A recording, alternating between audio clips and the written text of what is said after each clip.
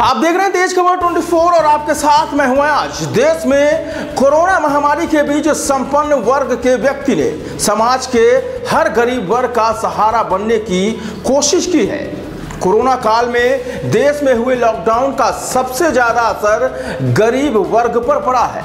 ऐसे में देश के प्रधानमंत्री से लेकर राज्य सरकार तक ने मजदूरों को काम से बाहर ना करने का फरमान भी जारी किया।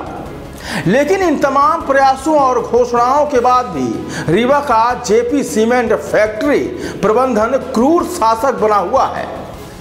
लॉकडाउन के बाद फैक्ट्री खुलते ही प्रबंधन ने श्रमिकों को न सिर्फ़ बाहर का रास्ता दिखा दिया, बल्कि उनके पेट पर लात मारने का काम भी किया। रीवा में संचालित जेपी सीमेंट फैक्ट्री प्रबंधन के इस क्रूर रवैये के कारण आज साढ़े चार सौ मजदूर बेरोजगार हो गए हैं, जिसके चलते श्रमिकों का परिवार आज भूखों मरने की कगार पर आ गया है। दरअसल आज रीवा में जेपी प्रबंधन द्वारा बाहर किए गए सैकड़ों श्रमिक कलेक्ट्रेट कार्यालय पहुँचे और कलेक्टर को चेतावनी भरा ज्ञापन पत्र सौंपा है।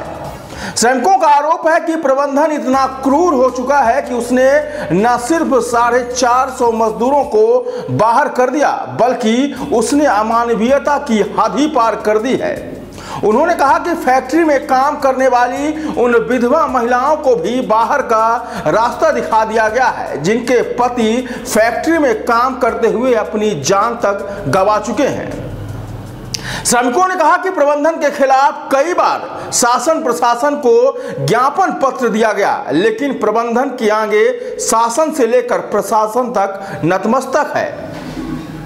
श्रमिकों ने कहा कि आज हमारे द्वारा कलेक्ट्रेट में आखिरी और अंतिम ज्ञापन पत्र सौंपा जा रहा है, जिसके बाद प्रबंधन के खिलाफ अब उग्र आंदोलन प्रदर्शन होगा, जिसकी पूरी ज़िम्मेदारी शासन प्रशासन की होगी।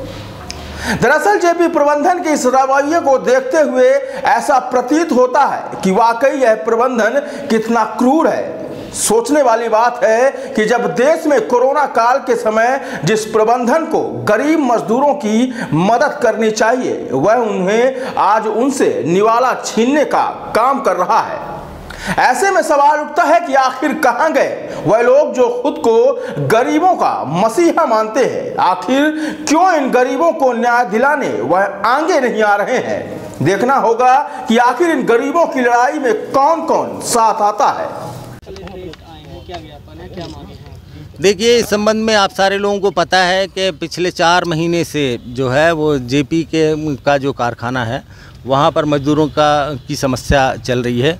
उन्होंने लॉकडाउन ख़त्म होने के बाद से ये था कि सारे मज़दूरों को काम पर रख लेंगे। लगातार हम लोग कलेक्टर साहब को और यहाँ के प्रशासन को वहाँ की स्थिति से अवगत करा रहे हैं। पर अभी तक उन्होंने जो है साढ़े चार सौ वर्कर आज भी काम से बाहर हैं और आप सारे लोग देख रहे हैं कि सबसे ज़्यादा अमानवीय जो कंपनी की ओर से व्यवहार किया जा रहा है कि ये जो विधवा महिलाएँ हैं जिनके पतियों ने उस कारखाने के अंदर सेवा देते हुए जिनकी मौत हो गई वो उसके आधार पर उन्हें कारखाने के अंदर नौकरी मिली है। वो उनको चार चार महीने से जो है ना तनख्वाह मिल रही, ना काम मिल रहा है। ये इतना असंवेदनशील और क्रूर प्रबंधन है कि इन महिलाओं तक को काम पर नहीं रख रहा है। इनकी सैलरी के बारे में आप सुनेंगे तो और आश्चर्य करेंगे।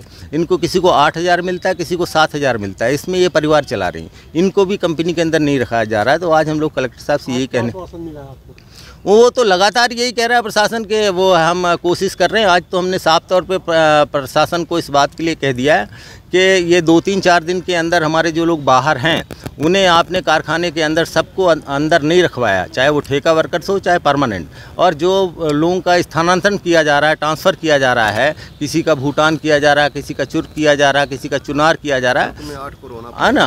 तो ऐसी हालात में जो है उनके ट्रांसफ़र निरस्त किए जाएँ और ये सब चीज़ें नहीं होती तो हम चार तीन चार दिन के बाद जो है पूरे कारखाने के अंदर हड़ताल पे जाएँगे। हाँ उससे कोई कानून व्यवस्था की स्थिति उत्पन्न होती है, उसके लिए प्रशासन जिम्मेदार होगा, क्योंकि हम लोग लगातार शांतिप्रिय तरीके से अनुसा अनुशासित तरीके से ये चाहते हैं कि इनकी जो वाजिब मांगे हैं मज़दूरों की, वो वाजिब मांगों का